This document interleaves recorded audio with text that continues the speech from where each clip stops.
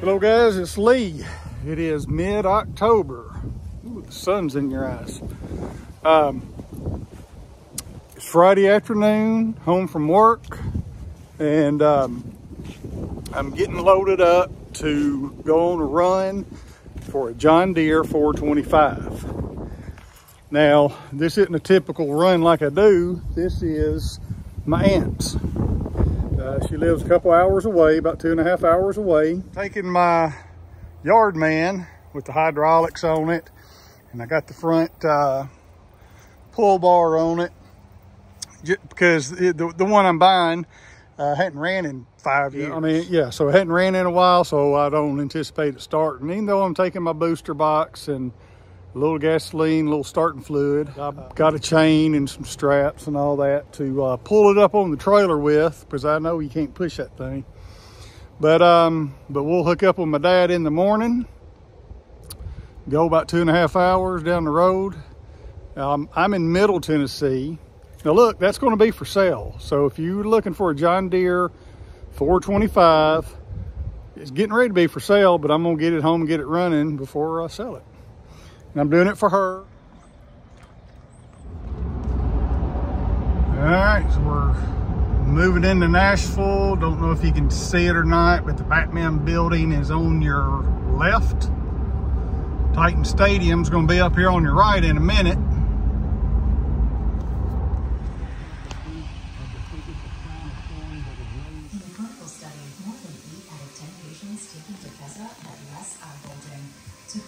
Do like. Sandy said they could.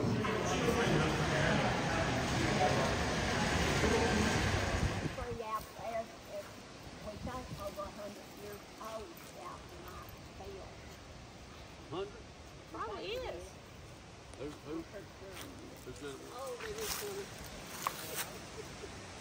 I never have got these steps over here.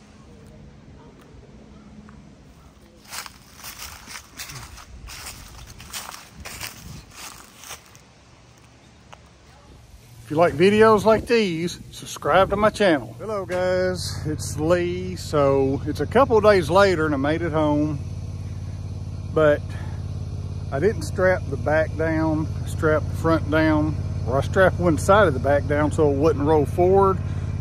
but every time I hit a bump, the rear end of this machine shifted. So let me show you what happened. Straight on the trailer and just shifted over here. So I can't really back it out or push it out or pull it out because it's gonna run right into this.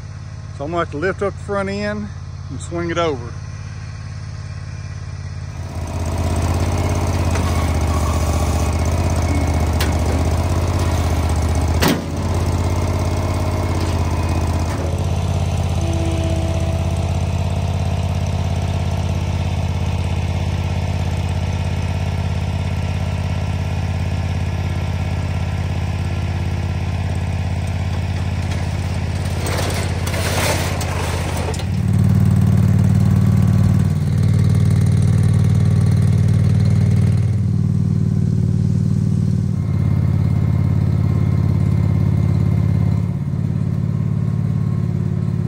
Right, so I got it in here.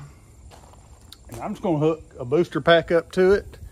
I just put gas in it on the way down here. The gas tank, thank goodness, was completely empty. So fingers crossed to hope the carburetor was empty.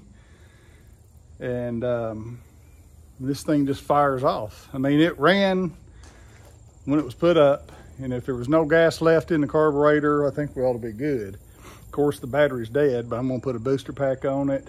I'm gonna put some starting fluid in the carb just to help it. So I know it's gotta get back into the fuel filter and fuel pump and all that. So we'll see what happens. All right, so I put starting fluid in the carburetor. I put fresh gas in it, which it was empty. Just put a new battery on it. So my question is, I never dealt with these much. So if I turn the key on, is that the fuel pump I hear, or is that something else?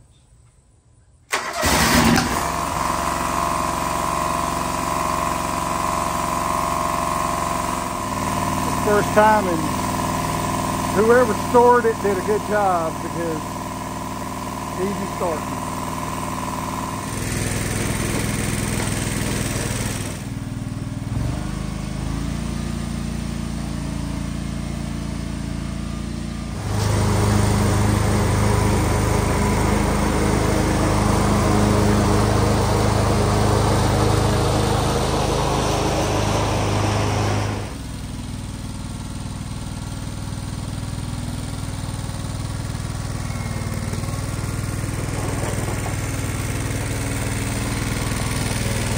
2001 I saw somewhere on it. But anyway, it's um, been sitting for, I think, well, the battery's 2019. So it's been four or five years before it ran a whole lot. Of course, I got the panels off and all that, working on it, putting new battery on it, or one off that one anyway. Looks pretty good. Did it, serviced it well because, you know, the carburetor evidently was clean of gas. Um, I know the fuel tank was, so maybe they just ran it out, and if they did, that was very smart. But anyway, so that's going to be up for sale.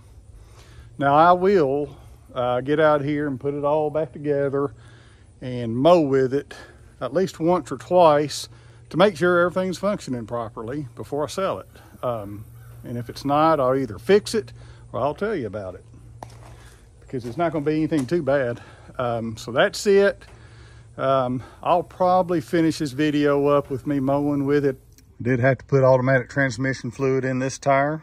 We'll see how it holds because I aired it up, um, oh, just a few hours ago and it's already going down.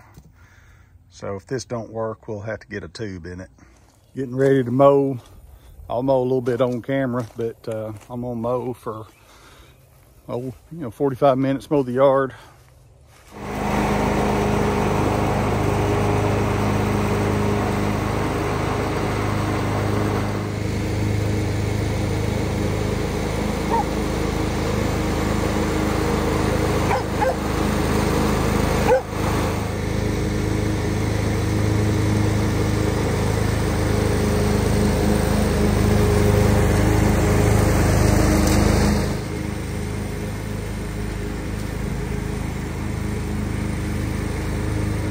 Video. So I ran it for a while. I, I took the camera off and I ran it out there on the front yard.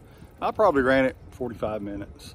And um, so what I'm doing, of course, I'll leave the panels off as I run it. I'll probably leave them off for a while because I'm always looking for leaks and things that, you know, that you can't see behind the panels. So, um, because it has been sitting up, I just want to make sure everything is as it should be.